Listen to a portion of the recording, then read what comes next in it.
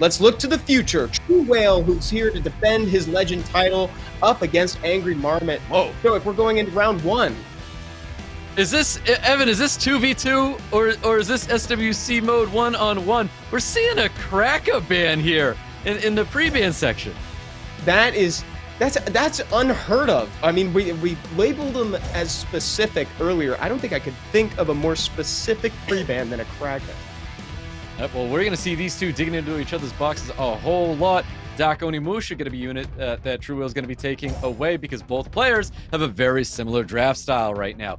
Nikki, something that both these players have been taken with, obviously, that uh, Marmot's gonna be taking that unit here. Angry Marmot's gonna be taking that unit here. And then a Dominic that we have seen uh, be utilized from True Whale. I'm not too sure he's still utilizing the, the Dominic as much nowadays, but Shizuka Ragdoll locked in for True Whale. Oh, I really like True Whale's draft. I, I love seeing the Ongyuki get play. He's made it to the top of the tier oh. list for the G3 category for good reason, offering so much damage even if he's not stunned. And here's Angry Marmot bringing a stun into it. Yeah, we're gonna be seeing a water Ryu coming out here. I feel like True Whale probably should see this because it's got to be a speed lead and probably another strip attack bar reduction because I feel like he needs something to go ahead of this uh, Eludia, and it's gonna be a Carlos here. And I know you're excited to see the Carlos. Oh my god, my man, my boy. I'm so excited. I love this unit. This is like stylish Raok. And I can't think of a time when we've seen Carlos at the Legend Tournament stage. We've certainly seen him in America's Cup before, but this is pretty hype, and he's definitely making it in because he is not the most threatening unit on the table.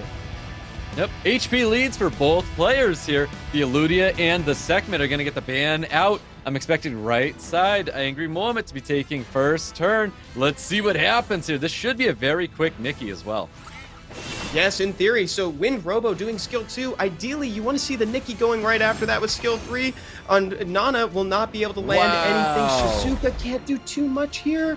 Oh, that's a nice that's a nice immunity to dodge the That's stun, exactly though. what that was. He used the third skill to get his immunity up here, and he's not. I mean, he's not going to get a ton of value if he goes in with the third. He needed to heal himself up there, which is quite interesting that he decided to go with the damage instead. This right here could be the game ender, depending on how much damage we see come out here. The confirmed kill on Ongyuki gives Carlos a passive here. The Nana is going to be feeding the Carlos the whole time. Skill one, one more. One more coming out. Oh, he gets caught by the ragdoll. Wait, wait, wait, wait. I don't know why he cho- didn't chose to get the defense break on top of the Wind Robo, because if he finished off the Wind Robo, he would have got an orb there. That Oh, may have been a misclick. May have been actually, dude. This Carlos was just a perfect pick into the Nana, though. If there's a unit that Carlos loves truly in this game, And there's the cleanse, Nana. heal, and there's nothing True Whale can do about this. Man, if you told me that we were gonna see Carlos shine today, Stoic, I wouldn't have believed Uh, you. That was a, a, a quick ending to that one as well. Uh, I smell, I smell a misclick on that with that defense break. It was just very obvious, and uh, Carlos is not the target there. You know what else though? He would have gotten a turn even if the Wind Robo passed away. Stoic. That's the cool thing. I love that about Carlos is he doesn't care who's who right. died. He's attending the funeral. That's what his passive is doing. He's gonna be there. He's and I truly hope that one day someone loves me to the same extent that Carlos loves Nana. You know, like he just loves to see that unit feeds off the Soul Stone. Awesome. What a fun game. Definitely was a fun game. It's so crazy to see those two high volatility units like that. You know, weapon masters, they're able to pump out so much damage and get crazy amount of turns off of all these kills. It is very exciting to watch there. Let's see what happens though we get into round number two between True Whale and Angry Marmot.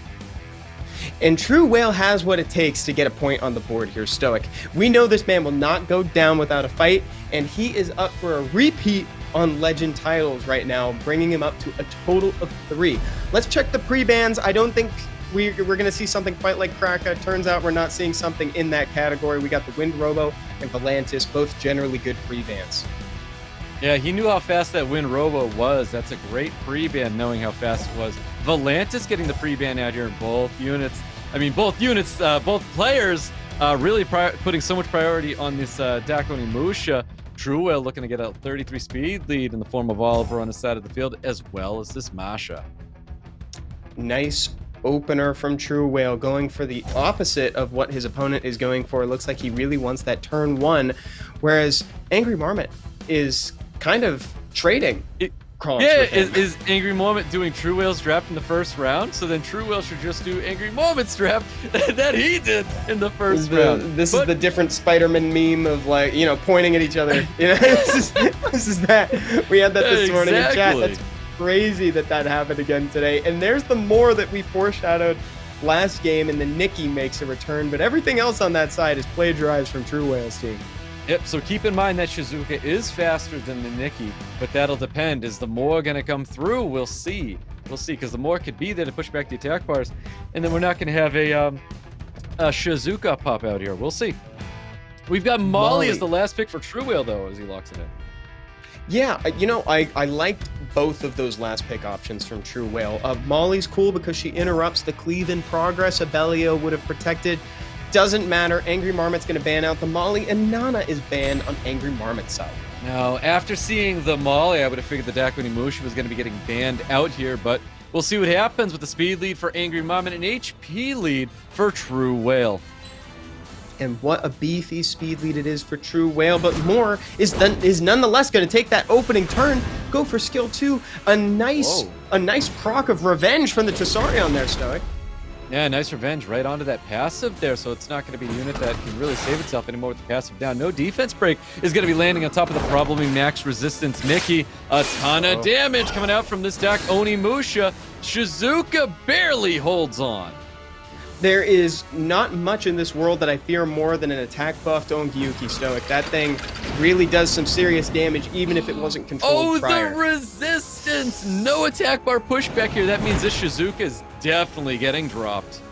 Uh-oh. There she goes, All of Oliver first, Shizuka shortly after. There are two units left on the side of True Whale. Is this about to be a 2-0 from Angry Marmot? That's 100% true. That will be a uh, 2-0 for Angry Marmot here. There's not much True Whale to do about that. No attack bar reduction that he got in that one. Definitely did him in there. And there's the 2-0, guys.